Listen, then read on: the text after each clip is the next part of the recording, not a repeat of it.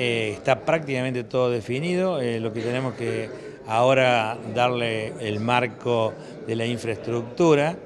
que vamos a ir a recorrer las distintas localidades para ver dónde podríamos instalar el lugar, principalmente creo que en base a eso se va a hacer un estudio para ver eh, la ubicación estratégica. Son prácticamente cuatro hectáreas, pero el, edificio se construye en 1.500 metros cuadrados, pero eh, tiene más de 3.000 metros eh, cuadrados el edificio porque va a ser en altura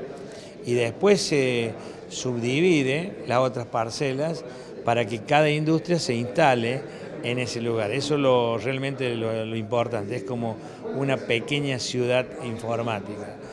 Eh, yo me creía que estábamos un poco más lejos, pero creo que el haber venido trabajando en conjunto dentro del Gran Río Cuarto, con, o sea, entre los tres municipios y la, universidad,